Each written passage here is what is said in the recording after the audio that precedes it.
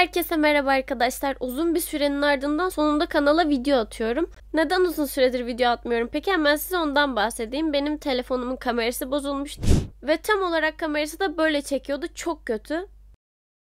O yüzden de bir süre içeriklerime ara vermiştim ve böyle arkadaşlarımla birlikte olduğumda arkadaşlarımın telefonunu ödünç alarak bir şeyler çekmeye paylaşmaya çalışıyordum uzun bir zamandır. Ama sonunda yeni telefonum oldu ve sonunda beni durduran hiçbir şey kalmadı. Çok mutluyum. Yalnız ben üstümü beğenmedim ya. Oh be değiştirdim geldim ya. Yabancı değiliz sonuçta. Biz bizeyiz burada. Ne gerek var o kadar süslenmeye değil mi? Bugün sizinle soru cevap videosu çekeceğim. Benden uzun zamandır beklediğiniz bir video bu. Biliyorum farkındayım. Ama bir süredir istesem de maalesef aksaklıklardan dolayı çekemedim videoyu. Bugüne kısmetmiş artık bugün bir sürü soru yanıtlamak istiyorum. Instagram'da ve YouTube'da soru cevap yapacağımı duyurduğumda neredeyse binlerce soru geldi. Hepsini yanıtlayamayacağım ama çok fazla gelen soruları mesela ayırdım. Onları yanıtlayacağım. O zaman hadi ilk soruya geçelim. Bana çok gelen sorulardan birisi de e, kendimi tanıtmamla ilgiliydi. İşte yaşım, nerede yaşadığım vesaire vesaire. Onlardan hemen bahsedeyim size sorulara geçmeden önce. Benim gerçek ismim Sevinç. İzmir'de yaşıyorum. 25 yaşındayım. İktisat okudum. Benle hiç alakası yok. İktisat okudum ama şu anda seslendirmenlik yapıyorum. Seslendirmenlik diyorum ama bizim mesleğin asıl adı mikrofon oyuncusu olarak geçiyor. Böyle. O zaman bu sefer gerçekten de ilk soruya geçelim. Sebinçi adının hikayesi var mı? Sebinçi adının hikayesi şu benim gerçek adım dediğim gibi Sevinç. Ben aynı zamanda Japonca öğreniyorum ve Japonca'da benim adım Sevinç diye değil de Sebinçi diye okunuyor. Çünkü Japonlar her harfi veya her yazımı okuyamıyorlar. Adımı da Sebinçi diye okuyabiliyorlar. Onun hikayesi de buradan geliyor. Yani tamamen kendi ismimin Japonca okunuşu. Doki Doki'de en sevdiğin karakter kim ve neden? En sevdiğim karakter Sayori. Neden? Çünkü Hugo'nun videosunda ben seslendirdim diye. Sayori'den sonra da Natsuki'yi seviyorum. Hatta onu seslendiren kişi de benim çok yakın bir arkadaşım hatta kardeşim gibi. Ona da buradan öpücük. Hatta diğer seslendirmenlere de öpücük. Doki Doki hakkında bir, birkaç tane daha soru var. Diğer seslendirmenlerle tanıştınız mı? Görüşüyor musunuz? Bilmeyenler için Hugola'nın Doki Doki oyun videosunda seslendirme yaptık. Dört tane kız olarak. Ve biz dördümüz de Hugola videosundan daha önce tanışıyorduk zaten. Hepsini de çok seviyorum. Hepsi de çok tatlı insanlar. İzlemediyseniz izleyin. İzlerseniz de yorum yapın. Deyin ki Sayuri çok güzel. Ben seslendim. Sayuri için sen mi yazdın yoksa Hugola mı seni istedi? Arkadaşlar o zamanlar Hugola işte Doki Doki videosunu yapacağı zaman bir story paylaşmıştı. Demişti ki 4 tane seslendirmen kıza ihtiyacım var demişti. Başvurular için de DM demişti galiba. Ben de demomu atarak başvurmuştum. Kendisi beğenmişti. İlk seçilenlerden biri olduğum için o zamanlar Monika'nın sesi yoktu. İlk başta Monika için düşünmüştü beni. Sonra baktık ki böyle sonlarda Monika'nın şarkı söylemesi gerekiyor. Ben de asla şarkı söyleyemem. O yüzden Monika olmadım. Sayuri oldum. Gayet de memnunum yani. İyi ki de Sayuri oldum. Çünkü Monika çok konuşuyor. Bir de Sayori'ye sesim daha fazla uydu gibi hissediyorum. Çok güzel zamanlardı ya. Umarım bir daha birlikte bir şeyler yapmak nasip olur. Burcun ne? Yükselenin ne? Ee, aslında burçlara hiç inanmıyorum. Üzgünüm. Burcum terazi, yükselenim de başak. Eğer inanıyor olsaydım başağa daha çok yatkınım derdim. Çünkü ben inanılmaz takıntılı bir insanım ve çok temiz bir insanım. O yüzden başa daha yakın olduğumu hissediyorum. Yapmaktan en çok zevk aldığın şey nedir? Arkadaşlar yapmaktan en çok zevk aldığım şey seyahat etmek. Evdeyken mesela eve geldiğimde kendimi tamamen işe vesaire veriyorum. Hiçbir şekilde dışarı çıkmıyorum. İzmir'deyken yani şu an İzmir'de yaşıyorum. Söylemiştim sanırım. Hiçbir şekilde dışarı çıkmıyorum. Sadece çalışıyorum. Daha sonra da böyle kafamı toplamak için İstanbul'a veya başka şehire gidiyorum. Ama genelde de İstanbul'a gidiyorum. İzmir'de çok fazla gezmiyorum. Çünkü İzmir'de çok fazla arkadaşım yok. İki tane var. Onlar da genelde müsait olmuyorlar. Benim genel olarak arkadaş çevrem İstanbul'da. O yüzden İstanbul'a gittiğimde böyle aşırı mutlu oluyorum. Böyle bütün kafamdaki her şey gidiyor. Sanki böyle şarjım bitiyormuş da İstanbul'a gittiğimde doluyormuş gibi ya da herhangi bir şekilde seyahate gittiğimde doluyormuş gibi. Ya bilmiyorum seyahat beni aşırı derecede mutlu ediyor. Mentalimi de topluyor. O yüzden çok seviyorum seyahat etmeyi. Neden hiç dışarıda foto çekinmiyorsun? Güzel soru.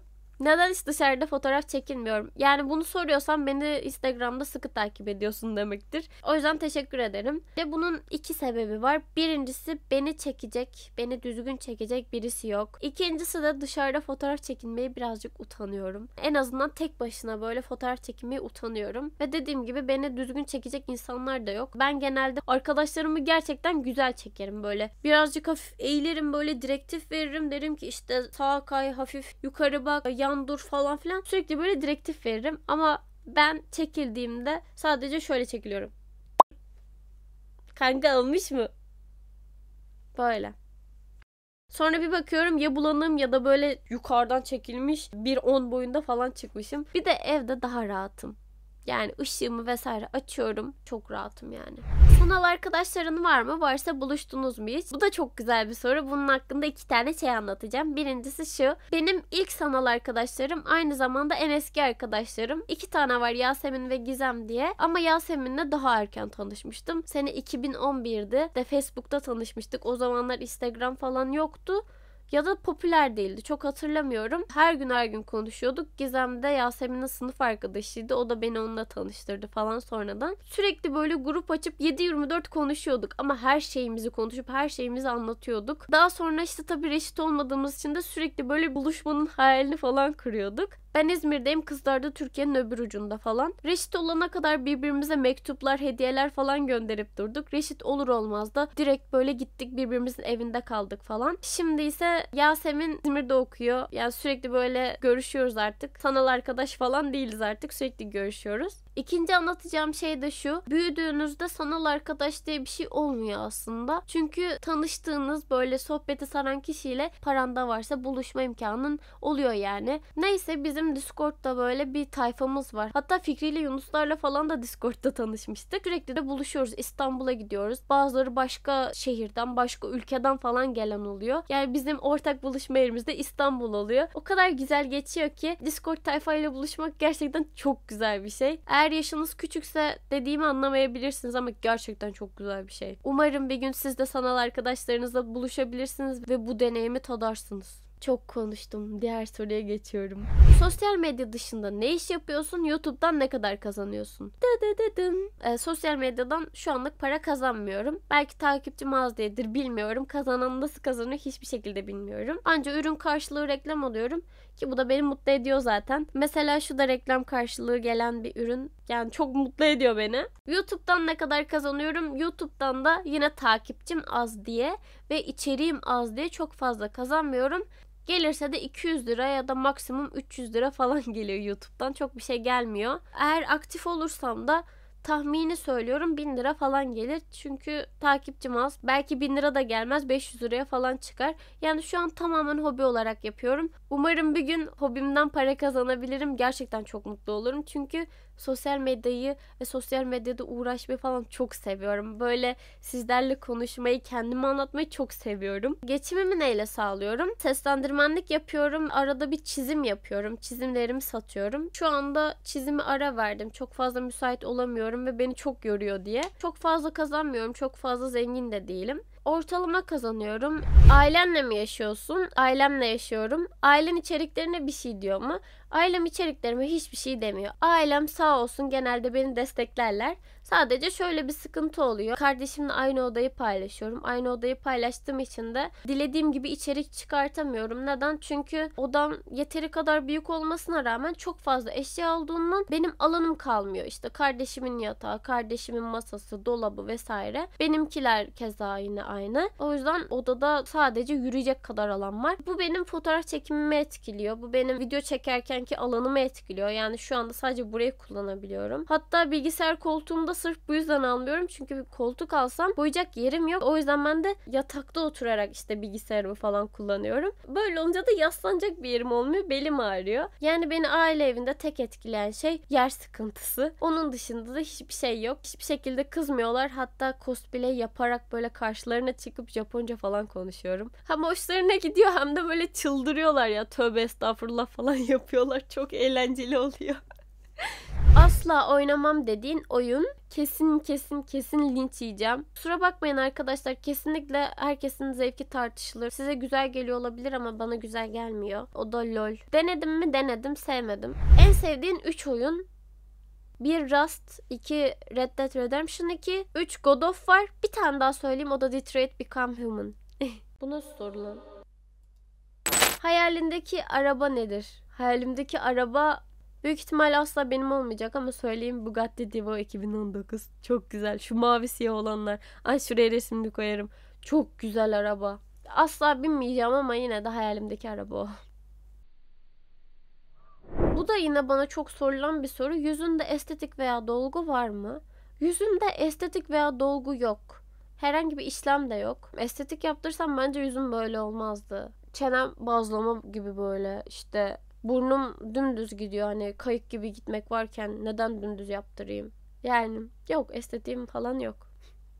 Ataberk'le nasıl tanıştın? Ben işim gereği YouTuber'larla falan çalışıyorum. O zaman da denk geldi. İşte Ataberk Valorant ajanı yapacaktı. Hatta bakabilirsiniz Vixen diye bir Valorant ajanı yaptı. İşte Japon Valorant ajanı yaptım diye bir başlığı vardı yanlış hatırlamıyorsam. Oraya ince sesli bir kadın seslendirmen arıyordu. Benim seslendirmen bir arkadaşım vardı Tan sağ olsun. Ona beni önermişti. Aslında iş vesilesiyle tanıştık. Sonra da samimi olduk. Tanışmamız da böyle gerçekleşti. Abla Green'le gerçekten kardeş misin?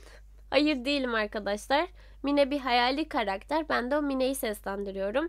Green'le arkadaşım sadece ve onun kanalında seslendirmenlik yapıyorum. Green hem benim yakın bir arkadaşım, kendisini çok severim hem de aynı zamanda patronum.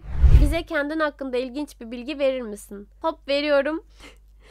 Şaşıracaksınız ama ben koku alamıyorum arkadaşlar. O duyu yok bende. Ya 2 ya da 3 sene falan oldu koku alamayalı.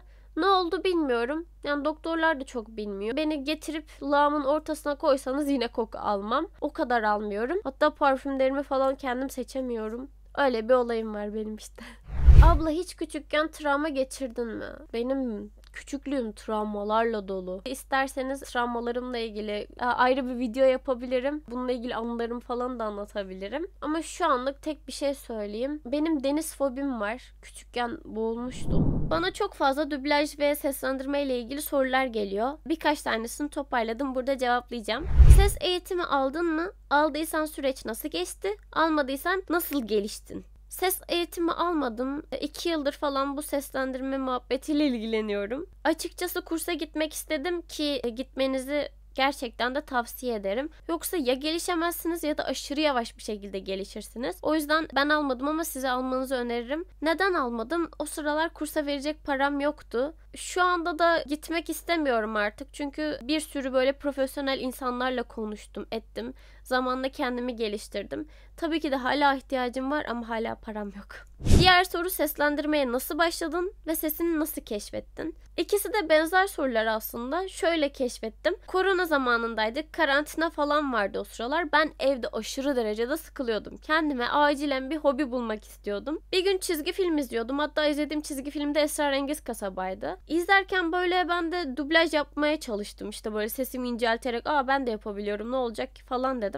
Sonra bir anda böyle bir kafama ampul yandı. Dedim ki aa dedim ben bunu neden denemiyorum ki zaten sesim ince belki de gider falan dedim. Yani hiçbir beklentim olmadan sadece canım sıkıldı diye böyle telefondan bir dublaj yaptım. Kesinlikle de uğraşmadım editine falan. Sonra ben bunu bir beğendim. Beğendikten sonra dedim ki neden TikTok'ta paylaşmayayım. TikTok'ta paylaştım. Paylaşınca da baya bir patladı. Sonra çok güzel yorumlar geldi. Güzel yorumlar gelince daha da bir hoşuma gitti. Tekrar denemek istedim. O da patlayınca, keşfete düşünce bir de tabii hem güzel yorumları görünce hem de kendim böyle beğenince falan hobi haline dönüştü benim için. Böyle de devam ettim. Bu şekilde başladım. Açıkçası sesimi de bu şekilde aynı gün keşfetmiş oldum. Öyle. Dublaj yapabilmem için ses güzelliği önemli midir? Hayır, kesinlikle önemli değildir. Düşünsenize bir filmde dublaj yapacaksınız ve filmde bir sürü yüzlerce insan var. E, ses rengi de parmak izi gibi insana özel bir şeydir ve böyle her insanın yüzüne hitap edecek bir ses illaki vardır. Ne olursa olsun sesiniz illaki bir insana uyacaktır. Yani ses güzelliği diye bir şey yoktur. Sesinizi nasıl eğittiğiniz önemli, diksiyonunuz önemli, bir de ses oyunculuğunuz önemli. O yüzden Herkes dublaj yapabilir arkadaşlar.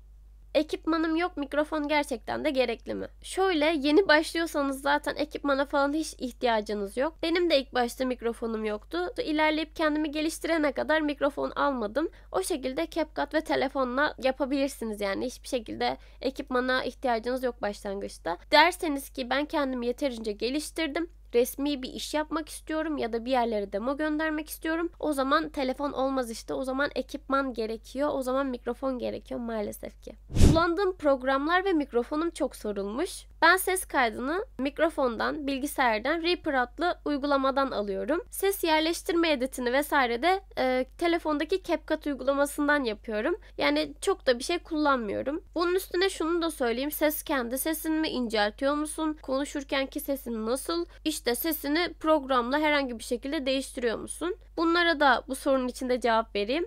Sesime herhangi bir e, montaj edit eklemiyorum. Programla da değiştirmiyorum. Bu benim kendi sesim. Günlük konuşma sesim böyle. Şu anda sesimi hiçbir şekilde inceltmiyorum. Dublaj yapa yapa da sesim böyle kalmadı. Çocukluğumdan beri hep sesim böyleydi. Şu anda hiçbir şekilde kendimi zorlamıyorum. Dublaj yaparken sesin acıyor mu diye soranlar olmuş. Bu da sanırım sesimi incelttiğimi düşünenler olduğu için sorulmuş bir soru diye düşünüyorum. Tabii ki de yaptığım dublaja göre değişiyor. Ama şu anda sesim acımıyor. Dublaj yaptığımda da diyelim ki böyle aşırı küçük bir çocuğa yapıyorum. 7-8 yaşlarında. O zaman işte böyle konuşuyorum. Ee, sesimi inceltiyorum. Sesimi inceltince de yine boğazlarım acımıyor. Normal bir şekilde konuşuyorum. Çok da değiştirmiyorum zaten sesimi. Birazcık inceltiyorum. O kadar. Size canlı dublaj da yapmış oldum böylelikle. Son olarak mikrofonumu da söyleyeyim. Mikrofonum Audio Technica ATR 2500. Abla ben de anime sesi yapabiliyorum. Sence benden olur mu? Arkadaşlar öncelikle anime sesi diye bir şey yoktur. Hani nasıl film sesi demiyorsak, nasıl işte animasyon sesi demiyorsak anime sesi de demeyeceğiz tamam mı? Öyle bir şey yok. İnce tatlı seslerden bahsediyorsunuz biliyorum. Bana böyle bir sürü insan işte ses kaydı atıyor. Böyle Oni-chan falan yapıyorlar böyle yapmayın. Ne olur yapmayın. Erkekler de atıyor bu arada. Böyle kendi sesini aşırı böyle incelterek kasarak falan. Ya tamam sesiniz güzel olabilir. Ama diksiyonunuz yoksa işte ses oyunculuğunuz yoksa gerçekten hiçbir anlamı yok. Bilmiyorum bana çok tuhaf geliyor bana ses kaydı attığınızda. Bir de ben böyle oturup dinliyorum. Bazı sesler var yemin ederim kahkahalara boğuluyorum. Dinlemeniz lazım ama dinletemem maalesef. Demem o ki işte Oni-chan falan demekle olmuyor arkadaşlar. Dediğim gibi birkaç deneme yapın. Diksiyonunuzu falan böyle çalışın. Zaten Google'da işte bir sürü diksiyonla ilgili şeyler var. işte böyle pdf'ler falan var. Yani biraz araştırırsanız bulursunuz. Emin olun ben de böyle ilk başladığımda soracak kimse yoktu. O yüzden araştırarak buldum. Google'dan vesaire vesaire. O şekilde dublajla ilgili bütün sorularım bu kadardı. O yüzden size başarılar dilerim. Son sorumuzda hangi tür müzikler dinliyorsun? Ben bütün kaliteli, güzel olan müziklere şans veririm ama genel olarak benim tarzım rock ve metal. Hatta 2000 öncesi metal benim tarzım. Blues da seviyorum ama zaten o da bir rock'ın bir dalı olduğu için rock ve metal diyebilirim. Soru soran herkese teşekkür ederim. Uzun zamandır bu videoyu atamadığım için de kusura bakmayın. Buraya kadar izlediyseniz beni baya bir tanımış oldunuz artık. Umarım kafanızdaki sorulara da cevap verebilmişimdir. Başka sorularınız varsa yorumlara yazın. Belki bunun part 2'sini falan yaparım. Aynı zamanda içerik fikirleriniz vesaire varsa da onları dikkate alacağım. Beni desteklemek isterseniz açıklamalara diğer sosyal medya hesaplarımı da bırakacağım. Ama yine de şöyle söyleyeyim. Instagram, TikTok, Twitch vesaire hepsi de kullanıcı adımla aynı. Sebinçi. Aynı zamanda katıl abonelerime de çok teşekkür ediyorum. Gerçekten de beni desteklemiş oluyorsunuz. Videoyu beğenip yorum yapmayı ve abone olmayı unutmayın lütfen. Sizi çok seviyorum. Kendinize iyi bakın. Görüşürüz.